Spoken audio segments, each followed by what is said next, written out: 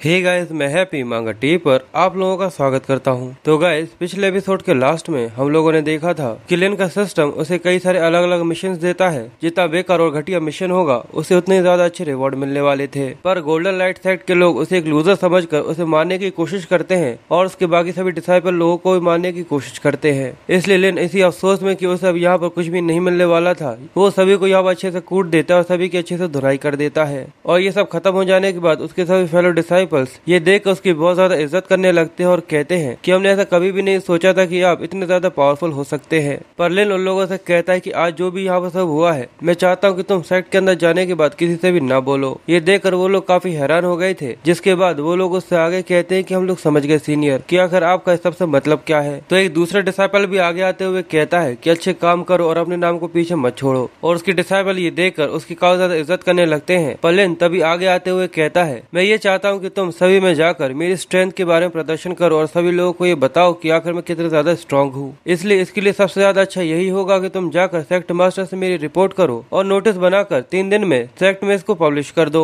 ये देखकर वो तीनों ही काफ़ी ज़्यादा सरप्राइज़ हो जाते हैं, जिसके बाद लिन उन लोगों से आगे कहता है की हाँ ये बिल्कुल सच है। जिसके बाद लिन कुछ सोचते हुए आगे कहता है की किचन के लोग उनको बचाया नहीं जा सकता, क्यूँकी मैंने सुना था की वो लोग मेरे पीठ पीछे बातें कर रहे हैं। हाँ वो लोग मेरे पीठ पीछे बातें कर रहे थे पर उन डिसाइपल्स को लिन की जरा से भी बात समझ में नहीं आती कि आखिर वो यहाँ पर क्या बकवास कर रहा है। पलेन अपने मन में कहता है कि हाल ही में मैंने अपनी रेपुटेशन को कुछ ज़रूरत से ज़्यादा ही बेकार कर दिया है। सभी लोग यही सोचते हैं कि मैं एक बुली और एक बहुत ज़्यादा परेशान करने वाला इंसान हूँ, जिसको हमेशा लो रैंक रिवॉर्ड ही मिलते हैं। पर सिस्टम से हाई रैंक रिवॉर्ड को पाने की वजह से मैंने अपनी रेपुटेशन को पूरी तरह से बर्बाद कर लिया था। पर भले ही एक लो रैंक का रिवॉर्ड था, पर इसके बाद भी मेरी रेपुटेशन देव कितनी ज़्यादा अच्छी हो गई है। मुझे ऐसा लगता है की आज और अभी से मुझे इसको चेंज करने की कोशिश करनी चाहिए। और इसके लिए मुझे फॉर्मल चीफ डिसाइबल्स की अथॉरिटीज को स्टैब्लिश करना होगा। और वो साथ ही उन लोगों से कहता है, ठीक है तो क्या तुम लोग ये समझ गए? तो वो डिसाइपल्स भी घबराते हुए कहते कि हाँ हम लोग समझ गए। और फिर लेन उन लोगों से कहता है, ठीक है, अगर ऐसा है तो जल्दी से जाओ, सेक्ट में वापस चले जाओ। पर वो तीनों ही काफ़ी कंफ्यूज थे कि आखिर लिन को यहाँ पर क्या हुआ। पहले तो वो कुछ और बोल रहा था और अब कुछ और। और लिन के वहाँ से जाते हुए हमें उसके ऊपर एक घोड़ा गाड़ी कोड़ता हुआ दिखाते हैं। और वहाँ से एक लड़की लिन को ऊपर से देख रही थी, जो की उसको देखते हुए कहती है, ये हमारे क्लैन के अंदर शादी करने के लिए पूरी तैयार हो गया है। क्यू सेट का चीफ डिसाइपल ये देखने में सच में ज़्यादा ताकतवर इंसान लग रहा है, जिसके बाद अब सीन शिफ्ट होता है और हमें गोल्डन लाइट सेक्ट के उस बॉस को एक जगह पर पड़ा हुआ दिखाते हैं जो कि अकेला वहाँ पर पड़ा हुआ था। अब वो जैसे तैसे उठकर अपने बारे में बताते हुए कहता है, मैंने गोल्डन लाइट सेक्ट को ज्वाइन करने के लिए बहुत ज़्यादा कड़ी मेहनत करी। हर कदम पर मुझे बहुत ज़्यादा कड़ी मेहनत का सामना करना पड़ता था। पर जब एक दिन मैं पेट्रियाज के सामने आकर गिर गया तो उनका टकला मुंडा चमक रहा था और वो भी मेरे चमकते हुए टकले मुंडे को देखकर बहुत ज़्यादा इम्प्रेस हो गए और ने कहा कि उसका मुंडा काफ़ी ज़्यादा शाइनिंग है। इसलिए इसे अपने साथ ले चलो। और फिर स्ट्रॉन्गर और स्ट्रॉन्गर होने के लिए मैंने गोल्डन लाइट सेक्ट को आगे बंद कर कर फॉलो करना चालू कर दिया। केवल इसके लिए नहीं कि मैं केवल लड़कियों को छेड़ सकूँ और किसी को कूट कर किसी के साथ कोई क्राइम कर सकूँ। इसकी वजह से मेरे अंदर बहुत ज़्यादा पावर आई और बहुत ज़्यादा हिम्मत भी। सभी लोग मेरी बहुत ज़्यादा तारीफ़ करने लगे और सभी लोग कहते थे की मैं बहुत ज़्यादा डेडिकेटेड हूँ। और फिर आखिरकार मेरी कड़ी मेहनत एक दिन रंग लाई। मेरे बाल फिर से खिल गए और मेरे टैलेंट को देखकर मुझे यहाँ का बॉस बना दिया गया। और मैंने अपनी माँ से कहा, माँ, आज मैंने ये सब कर दिखाया। पर से इन्फे से शिफ्ट होकर उसी समय पर आ जाता है। ज़ीरो गुस्से में चिल्लाते हुए कहता है कि आखिर क्यों? आखिर मैं एक क्यों सेक्ट के डिसाइबल से आखिर कैसे हार गया? और साथ ही वो अपनी ही तारीफ़ करते हुए कहता है कि मैं जीलू son of the heaven in thousand miles में अकेला, मैं इस चीज़ को सहन नहीं कर सकता। इसलिए वो डिसाइड करते हुए कहता है कि, लिन, बस मेरा वेट करो, मैं एक दिन आकर तुम्हें यहाँ पर खत्म कर दूँगा। जिसके बाद सीन शिफ्ट होकर हमें दूसरी जगह का सीन दिखाते हैं यहाँ पर जीलू चलते हुए केव के पास आ गया था और वो मुस्कुराते हुए कहता है की सेक्ट मास्टर ने मुझसे कहा था गोल्डन लाइट सेक्ट की बॉडी ट्रेनिंग करने के लिए जिसे तुम सबसे ज़्यादा स्ट्रॉन्गर बन सकते हो, तुम्हें बहुत सारे मॉन्स्टर्स को मारना होगा पर वहाँ वो ये सीन देख बहुत ज़्यादा घबरा भी रहा था, क्यूँकी यहाँ पर जितने भी उससे पहले जो लोग आए थे, जो की बहुत ज़्यादा स्ट्रॉन्ग बनना चाहते थे, वो सब यहाँ पर आते ही मारे जा चुके हैं। पर वो डिसाइड करते हुए कहता है की कुछ भी हो जाए, पर मैं यहाँ पर नहीं मरने वाला।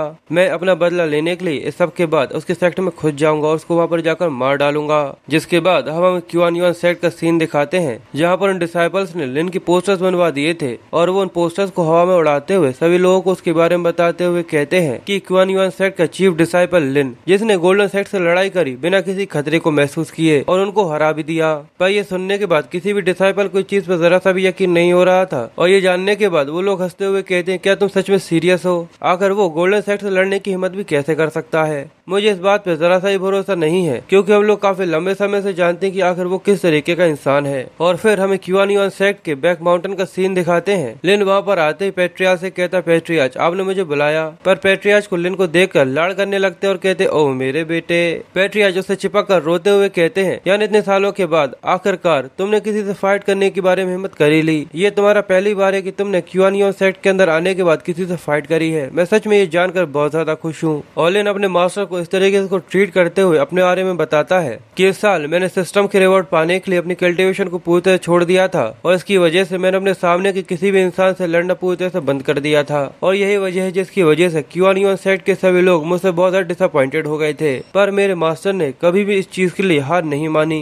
जिसके बाद पैट्रियाच अपने एसिस्टेंट्स के सामने हाथ जोड़ते हुए कहते हैं, मेरा क्यूआनियो सेट का चीफ डिसाइपल लिन मरने से नहीं डरता। यानी इस चीज़ को सच में दस साल हो चुके हैं। पर फाइनली मुझे मेरे सेट का सक्सेसर मुझे मिल ही गया है। और फिर पैट्रियाच उस समय को याद करते हुए लिन से कहते हैं कि उस दिन वो आदमी तुम्हें क्यूआनियो सेट के अंदर लेकर आया था? और जब मैंने तुम्हें पहली बार देखा, तभी मैं समझ गया था कि तुम्हारी बॉडी के अंदर बहुत ज़्यादा एनेट एनर्जी है। और मैं जानता था कि तुम एक कल्टिवेशन के जीनियस हो। और यही वजह थी कि जिसकी वजह से मैंने तुम्हें क्यूआनियो सेट का चीफ डिसाइपल बना दिया था। पर यह देखकर सभी लोग बहुत ज़्यादा जलते थे। जिसके बाद हमें लिन के कुछ सीन दिखाते हैं, जहाँ पर पैट्रियाच लिन को लेकर एक बियर के सामने खड़ा कर देते और कहते कि जल्दी से इसको यहाँ पर मार डालो। पर अगले पल में लिन, वहाँ से अपनी दुम दबाकर जल्दी से निकल जाता है और भाग जाता है। ये देखकर वो लोग दोनों ही हैरान थे। और फिर कंपटीशन के समय पर जब लिन की परफॉर्मेंस का समय आता है तो पैट्रियाच ये देख कर काफ़ी ज़्यादा खुश होते हैं। और जैसे उसकी परफॉर्मेंस शुरू होने वाली होती है और उसके सामने उसका अपोनेंट खड़ा हो जाता है, पर तभी लिन उसके अटैक करने से पहले ही उसके सामने सिर झुकाकर उससे माफ़ी मांग लेता और कहता है की मैं हार मानता हूँ। धीरे धीरे करके सभी लोगों ने ये कहना चालू कर दिया था की तुम केवल बैकडोर से ही अंदर आते हो। पर तुम्हारे मास्टर को ये पता था कि तुम्हारी पावर इतनी ज़्यादा कम नहीं है और तुम कोई कमज़ोर नहीं हो। पर आज आखिरकार तुमने ये पता लगा ही लिया कि तुम अपनी ज़िंदगी से कोई लालची इंसान नहीं हो और तुम्हें मौत का जरा सा भी डर नहीं है। तुम्हारे अंदर दूसरों से लड़ने की हिम्मत है और ये जानकर तुम्हारे मास्टर सच में आज बहुत ज़्यादा खुश है। और आज के दिन तो दुगनी खुशी का है, क्योंकि सेक्ट मास्टर शेंगियाओ के यहाँ पर आने के बाद ये दोनों सेक्ट एक दूसरे के साथ एक मैरिज कॉन्ट्रैक्ट बनाएँगे। तो चलो देखते हैं कि आखिर इसके बाद हमारा स्टेटस कहाँ से कहाँ पहुँच जाता है। पर ये सुनते ही लिन के मुँह से खून निकल जाता है, क्योंकि उसे ये पता नहीं था कि अब यहाँ पर क्या होने वाला है। और इसकी वजह से उस पर गुस्सा भी करते हैं, क्योंकि उसके सक्सेसर को यहाँ पर उसे मैरिज करनी पड़ेगी। अब यहाँ पर कौन आने वाला है? पेट्रियाच अपने आप को बचाते हुए, खांसते हुए आगे कहते हैं कि 20 साल पहले हम दोनों सेक्टों के बीच में एक मैरिज कॉन्ट्रैक्ट के बारे में बात हुई थी कि मेरे सेक्ट की चीफ डिसाइपल और शेंगयाओ सेक्ट की सेटनेस से उन दोनों के बीच में शादी होगी और इस रिलेशनशिप की वजह से हमारी स्ट्रेंथ की पावर पहले से काफ़ी ज़्यादा बढ़ जाएगी। ये सुनकर लेन उनके ऊपर गुस्सा करता है। तो सेक्ट मास्टर उसे शांत करते हुए कहते कि तुम चिंता मत करो, क्योंकि शेंगयाओ सेक्ट एक टॉप सेक्ट है और जो इंसान जो कि तुम्हें यहाँ पर लेकर आया था, उसके पास भी एक स्पेशल स्टेटस था। इसी वजह से सेक्ट की ब्लेसिंग तो तुम्हें ही लेनी होगी। और आज से तीन दिन बाद शेंगयाओ सेक्ट यहाँ पर अराइव होने वाला है। तो तुम वहाँ पर उनको शक्ल दिखाने के लिए पहुँच जाना। मैं अभी तक इस चीज़ से डर रहा था कि कहीं उनको तुम्हारे सीक्रेट के बारे में पता न चल जाए कि तुम एक बहुत बड़ा डरपोक हो। पर अब मुझे इस सब में कोई भी दिक्कत नहीं है। पर तभी लिन का सिस्टम उसके पास ओपन होता है उसे कुछ तीन टास्क दिए जाते हैं। पहले टास्क के अंदर उसे मैरिज कॉन्ट्रैक्ट को पूरा करना होगा, जिसकी वजह से उसकी फ़र्स्ट लेवल की कल्टिवेशन पूरी हो जाएगी। और दूसरे टास्क के अंदर उसे कोई खास न काम कर कर इस मैरिज कॉन्ट्रैक्ट को थोड़ा सा पोस्टपोन करना होगा। इसकी वजह से उसकी सेकंड लेवल की कल्टिवेशन पूरी हो जाएगी। पर सबसे ज़्यादा कमाल का टास्क थर्ड टास्क अगर वो यहाँ पे मैरिज कॉन्ट्रैक्ट को तोड़ देता है तो उसकी तीन लेवल की कल्टिवेशन पूरी हो जाएगी। और इसी बीच उसके मास्टर भी उससे रिक्वेस्ट करते हुए कहते हैं कि इस बार इस मैरिज को यहाँ पर रुइन यानी खराब मत कर देना। बस थर्ड टास्क रिवॉर्ड को जानने के बाद लिन की आँखें चमकने लगती है और वो काफ़ी ज़्यादा परेशान होते हुए काफ़ी ज़्यादा एक्साइटेड हो जाता है। क्योंकि अगर वो यहाँ पे मैरिज कॉन्ट्रैक्ट को तोड़ देता है तो उसकी तीन तीन लेवल कल्टिवेशन लेवल्स आगे हो जाएँगी। और ये जानने के बाद वो काफ़ी ज़्यादा एक्साइटेड होते हुए कहता है कि डील सच में काफ़ी ज़्यादा बड़ी है। सिस्टम का रिवॉर्ड धीरे धीरे करके बहुत ज़्यादा अच्छे और कमाल के होते जा रहे हैं। और सिस्टम की तरफ़ से कल्टीवेशन को बढ़ाने का रिवॉर्ड सच में काफ़ी ज़्यादा रेयर है। पर साथ ही वो आगे कहता है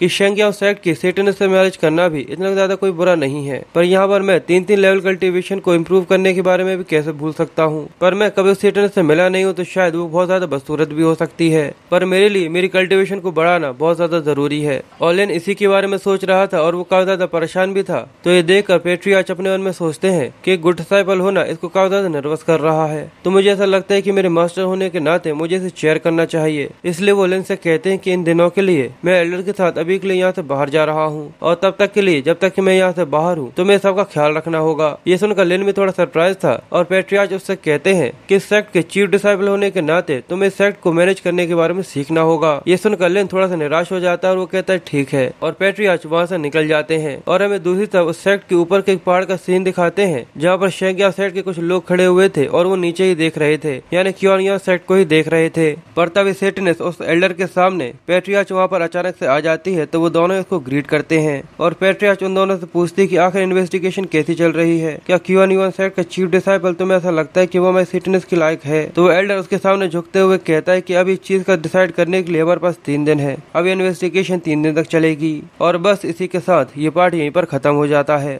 अगर आप लोगों को मेरा एक्सप्लेनेशन पसंद आया है तो प्लीज़ वीडियो को लाइक कमेंट शेयर ज़रूर कर दीजिएगा और चैनल को भी सब्सक्राइब कर लेना। मैं मिलता हूँ आप लोगों से नेक्स्ट वीडियो में।